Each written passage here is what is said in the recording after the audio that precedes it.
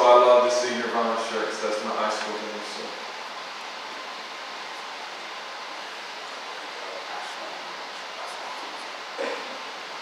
Hi, um, so what, um, role do you play in the recruitment process? It depends, a lot of times on the program and the coach. Um, so men's basketball, they pretty much, if I'm in town, will have me visit with every recruit they bring in. Um, uh, some other sports may have me visit with higher profile recruits. Um, some, they don't ask me, but if they ask me to be involved, uh, I'm involved. I sit with the young people and their parents and tell them a little bit about WVU and my vision and my impression. It's really easy for me right now to talk about why I think they should choose WVU because I just chose it, right? And so I can tell them what I have found and what led me here. Um, and uh, so that's, that's really helpful. If we have a transfer, if we know there's been some kind of issue, I'm definitely going to dive a little deeper into that. If there's, you know, if they were dismissed from their team where they were for some uh, behavioral issue, that doesn't mean that we won't take them. Um, I believe in redemption and second chances when they're deserved, uh, but uh, it's, it's definitely uh, something that I'll spend a little more time diving in on. And what attributes do you look for in an athlete? It's a good question. I think for me, want somebody who's committed to academics as well as athletics. And I understand, particularly with male athletes, but more so with our female athletes, they all think I'm just going to play sports forever, even though you tell them the percentages of people that actually get to make money playing sports after college, it's not very high. Um, but there has to be a commitment to get your education. Um, and, and if we ever lose that um, in, in, in uh, college sports, I think that's probably the time where I probably look at doing something else. Um, you know, there's been a lot that's changed in college sports in the last five, ten years. In the last year, there's been a lot changed. But that piece of it, being tethered to education and the pursuit of a degree and what it can mean for you and your family, um, is really, really important. And, it, and that particularly resonates with me as a first generation college student. I see the opportunities that my girls got that I never got. We never other than going to the lake when I was growing up. We couldn't afford it. So my girls have gotten to go and see and experience all kinds of different places and cultures. And, um, but it's because I was committed to get an education. My wife was committed to get an education. And so the difference that it makes is really important. So my goal would be that we would pursue athletes who are really serious about getting an education. So what's your expectation for football? Well, I never speak in terms of uh, win and loss expectation because as soon as you do that, that's the number that everybody hones in on. And there's a lot of things that are outside of, of your control. You can't control injuries. You can't control uh, schedule. You can't control some of those things. So I think for me, um, it would be one, that our student athletes are getting a great experience. And two, uh, that, that we were, we had momentum with uh, our fans across the state. We were representing the university in the way we want to be represented. And I know people always want you to go to what is your win-loss expectation. I get asked that a lot about a lot of sports. Uh, but I just don't talk in those terms. Um, and we've had a lot of success at the programs I've been at um, in terms of win-loss record. And I've never really made it my particular focus. It's always how can we do the best job of recruiting good student athletes, keeping good student athletes, and helping them to get better while they're here. Um, what's your opinion on all the uh, conference realignment that's been going on recently in college sports?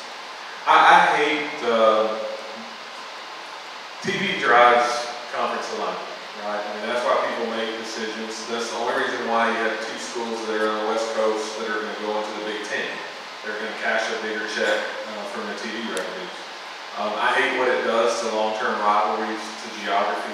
I hate that we take um, women's soccer teams and send them to Lubbock, Texas, flying over however many other teams that, that they have to fly over um, because the football games are more valuable in the Big 12 than they were in the Big East, for instance. Um, but that's not going to change because that TV revenue is the number one revenue stream, and there's so much pressure to compete financially and, and salaries and benefits and facilities and all those different things that, that uh, you can always follow the money. That's always the way it's going to, uh, that, that's gonna drive college realignment. And so, um, it's not gonna stop as TV deals come up. Um, you're seeing it play out, I don't know how much you all read, but in the ACC, everybody knows the Pac-12 is, uh, shaking. But the ACC, they're arguing all, because Florida State and Clemson's trying to compete with, with SEC and Big Ten football programs, they're getting a lot smaller checks, and they're like, hey, we're more valuable than Wake Forest. Um, and so, uh, either eventually, if they get an opportunity to go into one of those conferences, that's where they're gonna go. Um, and ESPN may say, hey, we don't wanna pay for all these other teams, but we'll pay the SEC more money to pick those two off. That's how OU and Texas lead the Big Twelve to the AC, to the SEC. Um, so that's gonna continue to happen. Um, what I take pride in is that, uh, WVU, because of this, even though we're not a hugely populated state, it's a brand that everybody in the state follows and in this region people follow. So in the Big Twelve right now, when they do the metrics of most valuable brands, we're in the top four, no matter which metric they, they look at. And it's because of that passion and that following. So I think we're gonna always, uh, be a valuable commodity, we're gonna always have opportunities. Um, I do think Commissioner Yormark's done a great job of taking us from being the most unstable conference to behind the SEC and Big Ten, we're now the most stable conference, right? And so, uh, that's happened in a short period of time, and the future of Big Twelve is really bright, and, uh, so, uh, I wish I knew exactly how things are gonna shake out. Uh, I could probably make a, a, a lot of, uh, money helping schools get to that destination if I knew where I was gonna go. I don't, uh, but I do know that as long as TV contracts are involved, um, and as long as there's an equity in what the league's payout is, they're gonna continue to be reshuffled.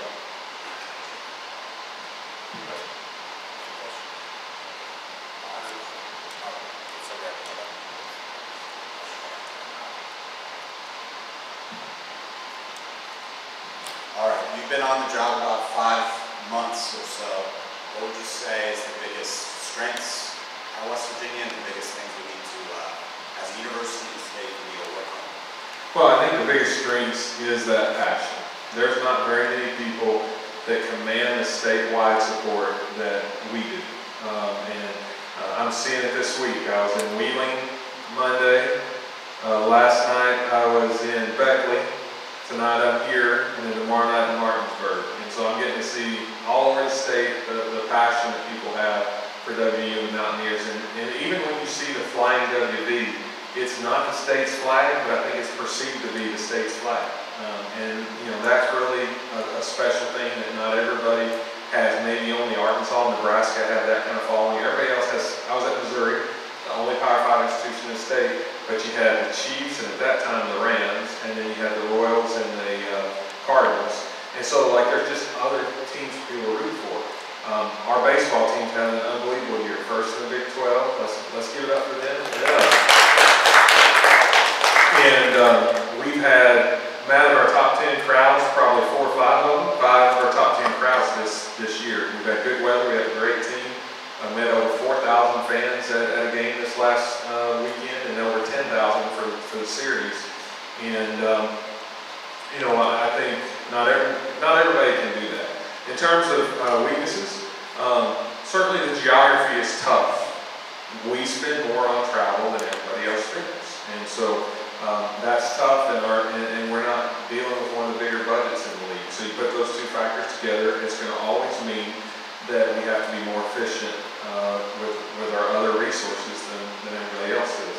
Um, but we're prepared to do that. Uh, I think for me, the, the biggest thing finding a way to incrementally grow revenue. Not everything is going to be a, uh, Matt and I discussed a strategy a few weeks ago that we think can bring us a half million dollars. That's a big, you know, that's at least a triple, maybe a home run. But if we can host 10 birthday parties that we make a couple thousand bucks on each one, um, that's, those are little singles or bunts, but, but we're getting runners on base and, and, and that's, that's helpful as well. So we have to find a way to look at every single way we can capitalize and, and make money. And uh, I think if we do that, do a really good job of it, then we can give it back programs and, and that will help with the competitive center. But the budget's a real challenge right now. We got a question? We run out of questions, you have to go back back here. Back here.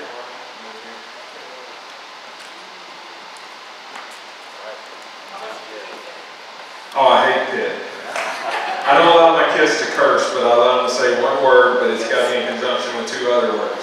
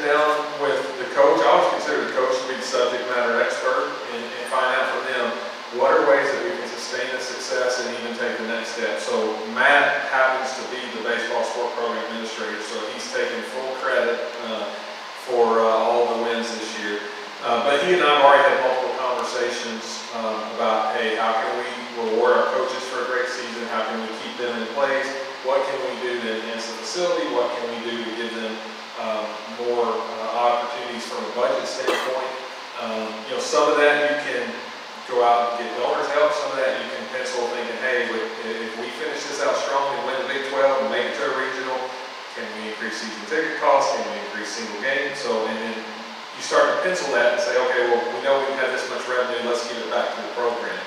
Um, so those are conversations that we're already having, but you also have to wait because the coach really knows best. I mean, they're the ones that deal with it every day, they're, they know what their needs are the most, and they're right now busy, you know, coach is, is trying to be fit. Um, and so, uh, you know, that's, that's their focus. So we'll sit down shortly as the season ends and say, okay, what are the things that we can do now? And what are the things that we can put on our long-term, medium-term, uh, list of priorities that will help sustain, uh, the baseball program's success? If someone had interest, not just as an athlete, but um, to professionally go into sports, what would be your advice uh, for, for someone interested in that? I'm gonna be really careful here, because I feel like, um, I wouldn't choose to do anything different. I feel like anytime college kid or high school kid asks me about my job, I end up trying to, feeling like I just basically talk them out of it. Um, there's a lot of hard days, right? I mean, I've moved my family a lot, I've missed, I've missed five months of seeing my daughters every year. And they're gonna be out of my house before very long. I've been at bowl games three times when they were doing their Christmas program. You never get those experiences back. I watched them on FaceTime. Um, it's, it's a demanding job. People see the fun parts. They see you at the game. They know you make a good living. But there is a lot you have to give up, which is why I would tell you if it's not your passion and your purpose, don't pursue it. Because early on, those jobs, we have a lot of people that make thirty, forty thousand dollars and work sixty plus hours a week. Um, and if you follow college athletics, there's a lot of turnover in all industries right now, but college athletics, uh, I think we, over the course of the last year to eighteen months, have seen forty percent turnover in our staff. Um, that's huge, almost half of our people have turned over. Um, and so, uh, there is a lot of burnout, there is a lot of pressure, there is a lot of expectations. You do a lot of work for maybe not three hundred sixty-five days a year, but well over three hundred days a year. And most people only care about that scoreboard on those twelve Saturdays. Um, and, and, and maybe some, uh, with those, those basketball games, but most people don't see any of the other work that you do. Um, and nor, nor do they really care. And so you really gotta be, it has to be your purpose to want to pour into young people and see them grow and develop. Because if, if it's not, you're gonna get beat up and beat down, um, a little bit. But, uh, I always wanted to have a job. So my dad and my grandfather and my uncle all worked in a paper mill in my hometown. And it's most people's goal, uh, to want to work there. It's a really good paying job in, in the place where I grew up, one of the only ones. And I worked there in the summers. They had a program, uh, to help pay your way through college. And when I got done with college, they offered me a job.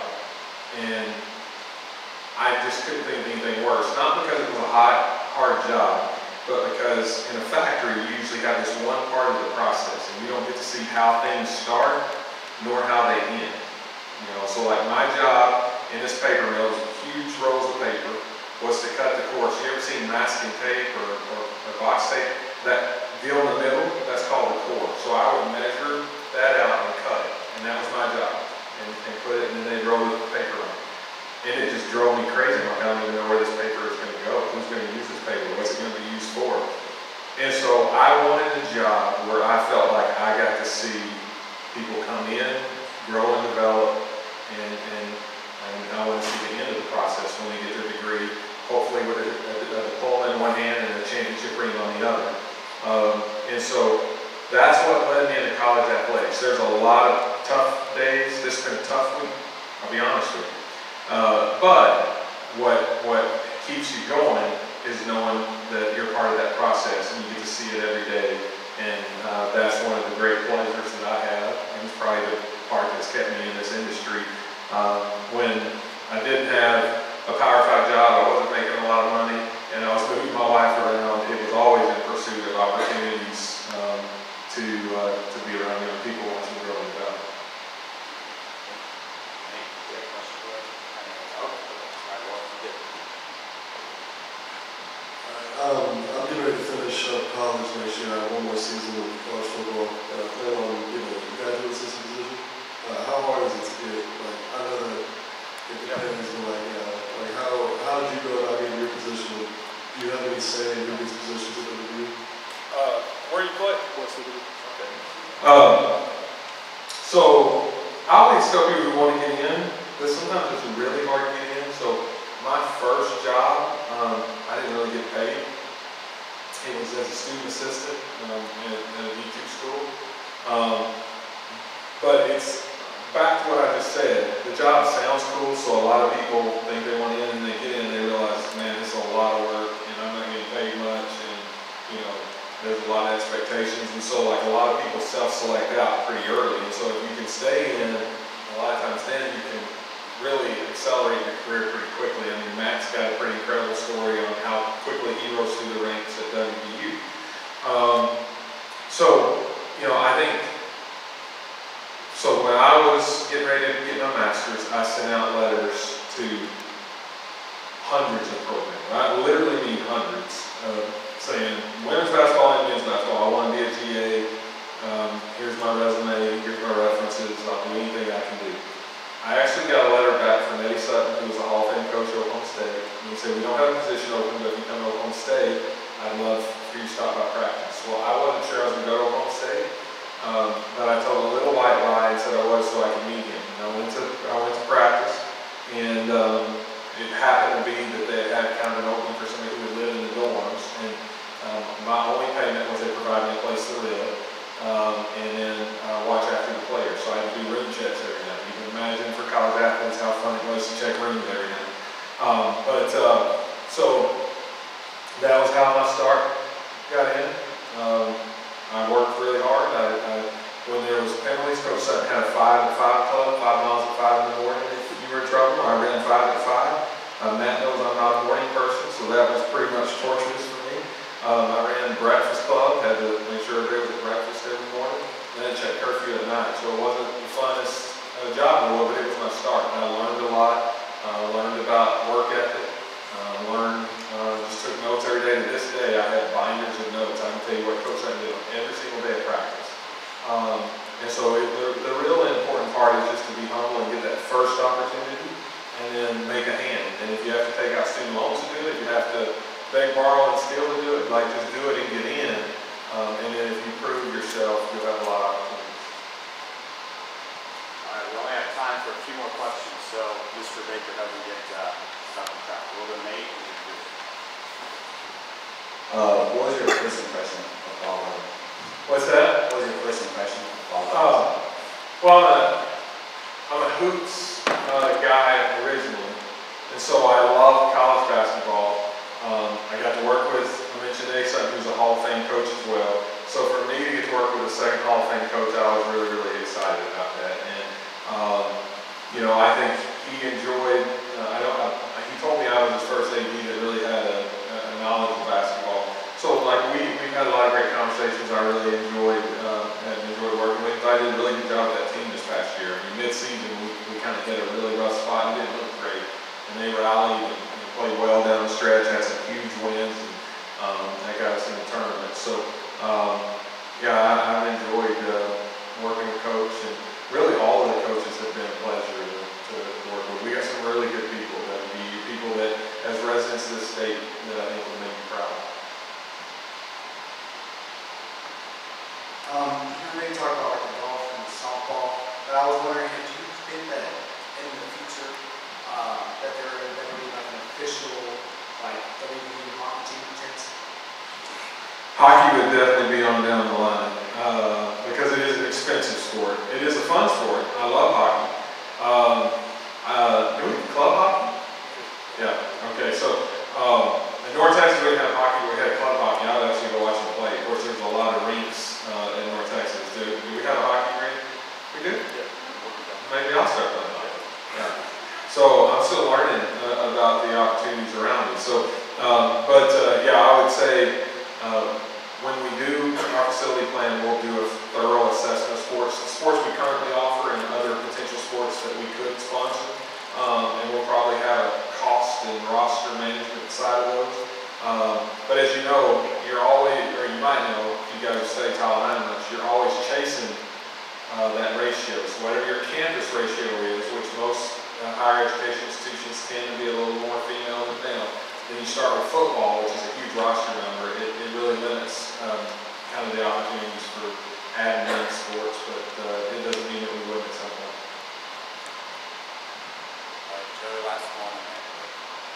Uh, aside from like West Virginia, WU, what's your favorite part about Morgantown? Chase? I think it's really just uh, the beauty of it. Like, I grew up, people think Oklahoma is all flat. Eastern Oklahoma is actually not flat, but it's not as gorgeous as, as this. Um, and I would make it even more than just Morgantown, like flying into uh, Beckley last night. Mean, it's absolutely beautiful. Like, I'm looking from the plane, uh, taking phone, uh, photos, uh, uh, with my phone like a tourist. Uh, but, you know, I think when you guys grow up here, you probably don't realize uh, how fortunate you are to see it every day. But it's, a- it's absolutely uh, beautiful. Uh, when I moved to Morgantown, everything was dead. So I will be honest, like how it looks today is completely different. My, wa- my wife and daughters were just in this last weekend uh, from Texas and went to the baseball game. But my wife said, like, I can't, this like the same place that, that we came to in December for the press conference. And so um, I really, the outdoor opportunities, the hikes, um, the things you can go and do, the kayaking and, and uh, rafting and stuff in this state, um, fishing, I, I love fish. Um, there's some great golf courses. I never golfed much, but but uh, I've been offered to golf at a lot of great courses, and they are gorgeous courses. courses. But uh, I uh, I think that's probably my favorite part. Ask one more question. Okay. All right, a few years ago, when we started this class and had our first interview, we had a student who said we should always wrap it up by asking the, the guests to give a few pieces of advice to graduating students and, and underclassmen. If you were to talk to 16, 17, 18 year old kids, what would be one or two pieces of advice that you have? Don't panic if you don't know what you want to do. I didn't know what I wanted to do, and I changed majors as a junior. And my parents were furious. Like, when I went home to tell them as a junior that I was changing majors from computer science to be a teacher, I thought I was going to teach and coach in the public schools. That's what, that's what my goal was. I think were really not happy. Um, but it's okay to, to take a little time to figure that out. Um, what's really important is that you're working hard, you're passing classes, enjoy every moment of what's left of your senior year here, of college, um, because the responsibility that comes when you uh, are actually out of college, like, it's just not as much fun. Um, when you when you have that pressure of paying for bills and uh, all those things, I never had uh, more expendable cash, I don't think, than when um, I was in college. I had a full scholarship, got a full Pell Grant, and Oklahoma had like another kind of Oklahoma Pell Grant. I, I mean, I was like buying everything up uh, when those checks would, would uh, cut. And so it was a uh, great uh, time, enjoy it, but find your passion and your purpose. Uh, and there's there's there's, there's a book out there called The Purpose Driven Life. Um, it's a great it's a great one, but there's several books out there that kind of help you find who it is that you're meant to be and what what God's called you to be. And once you figure that part out, then you can kind of the other stuff will kind of fall into place. We can't thank you enough uh, for doing this.